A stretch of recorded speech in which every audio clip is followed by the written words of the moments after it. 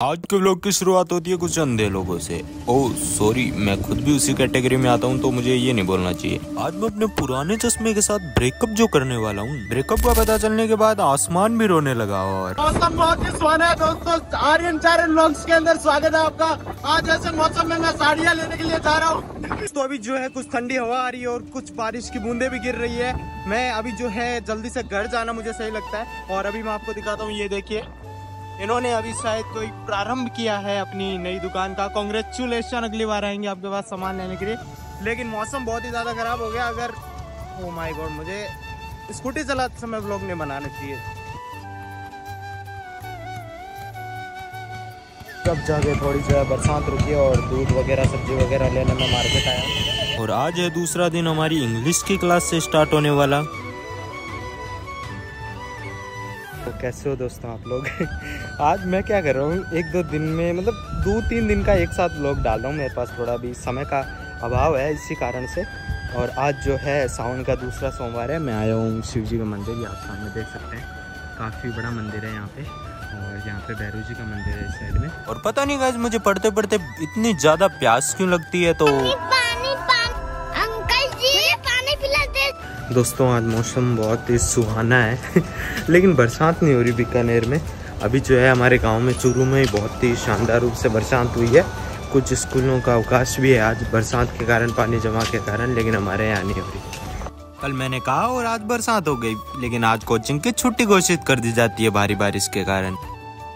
तो भाई मैं कल बोल ही रहा था कि मतलब बरसात नहीं हो रही, ऐसा कुछ नहीं हो रहा, जयपुर में हो रही है, चूरू में हो रही है, लेकिन हमारे बीकानेर में नहीं हो रही।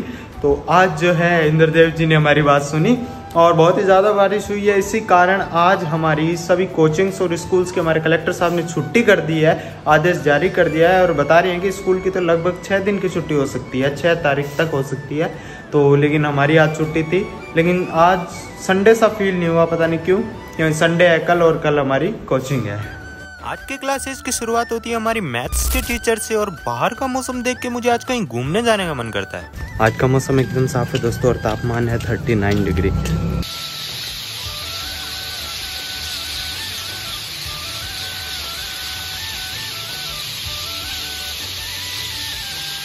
दोस्तों कितना पॉजिटिव और मतलब ऐसे शांति, एकदम मतलब सुकून वाला साउंड है ये।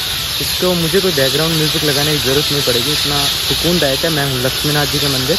और ये है पार्क यहाँ पे। ये देखो।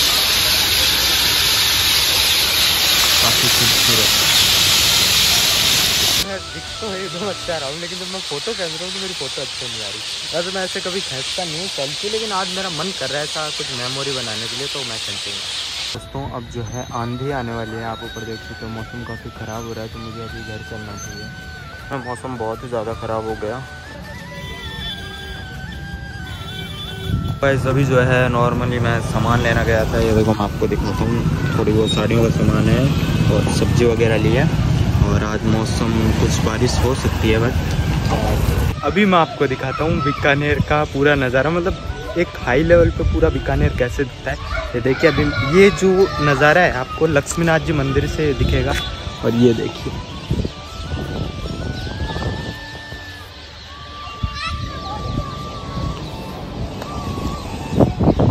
बच्चे लोग स्केटिंग सीख रहे हैं। वाह। जो मैंने डेढ़ साल पहले सीखने का ट्राई किया था, और अभी पढ़े हैं वो ऐसे घर पे। दोस्तों, ये सिर्फ़ नाम से लक्ष्मीनाथ जी का मंदिर है। यहाँ पे सभी देवी देवताओं के मंदिर है, करणी जी का नागनेच माता का भैरू जी का, गणेश जी का मतलब सबका मंदिर है। तो एक साथ कोई मंदिर जाना हो तो बीकानेर में सबसे बेस्ट जगह यही है। और आज का ब्लॉग जो है, मैं यहीं पे ख़त्म करना चाहूँगा। ये ब्लॉग आज का ब्लॉग नहीं, ये ब्लॉग बनाते हुए मुझे वैसे तीन चार दिन हो गए। लेकिन आज मैं इस ब्लॉग का अंत करना चाहूँगा।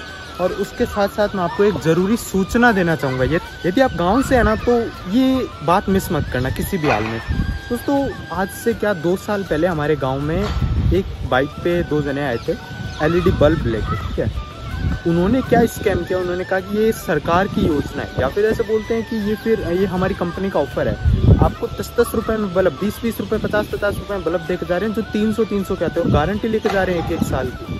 और लेकिन वो अपने नंबर दे के जाते हैं, लेकिन वो बल्ब एक दो दिन में ख़राब, बाकी वापस कॉल भी नहीं कर सकते। आप वो ना फ़ोन उठाते ना कोई बात, वापस गाँव में भी नहीं आते आपके। लेकिन अब उन्होंने बहुत ही इस तरीके को स्कैम को हाई लेवल पे लेके चले गए। वो क्या करते हैं, आपके पास आएँगे और गाँव में, ये हमारे साथ हो रखा है मेरे पापा ने ले लिए थे बल्ब और अब वो किसी काम के नहीं हमने ऐसे, पापा ने ऐसे अलमारी में जचा के रख रखे हैं भाई। लेकिन लेकिन अब मैं आपको बता दूँ, जब तक तो ठीक था, वो जो बल्ब दिए, उन्हीं के पैसे खर्चे अपने। अब क्या कर रहे हैं अब मात्र आपको दस रुपये में बल्ब देख जाएँगे तीन सौ का बोले, ये सरकार की योजना है। आपको बस एंटर करना है। जैसे इंदिरा रसोई में खाना खाते हो तो आपका आधार कार्ड और फ़ोटो लेते हैं वैसे आपसे एक फ़ोटो ले लेंगे, आपका आधार कार्ड ले लेंगे और आपका फिंगरप्रिंट ले लेंगे। जो लोग नहीं जानते हैं, उनको ये वीडियो भेजो। मतलब ये आप बता दो, भेजो मुझे वीडियो शेयर से मतलब नहीं आप उनको ये सूचित कर दो कि यदि ऐसा कुछ आए, आधार कार्ड मांगे तो मत दीजिएगा। आप लोग इकट्ठे करिएगा, उन पर एक्शन लीजिएगा, तभी ऐसा कुछ सुधार हो सकता है। ना आप अपनी सेफ्टी करोगे और सोचोगे दूसरा जाए भाड़ में तो इस चीज़ का सोल्यूशन नहीं होगा। कल को कोई दूसरा स्कैम आपके लेवल का नहीं होगा, आपको समझ नहीं आएगा, वो आपके साथ हो जाएगा। तो बचाओ लोगों को और इस चीज़ का ध्यान रखना और अब लोग आते रहेंगे। कुछ दिन मैं व्लॉग नहीं डाल पाया, उसके लिए दिल से सॉरी मेरी यूट्यूब ऑडियंस वापस से आप मेरे से जुड़ जाइए और शेयर कर दीजिए वीडियो को। आज का व्लॉग यही ख़त्म करता है, मिलते हैं नेक्स्ट वीडियो के साथ। बाय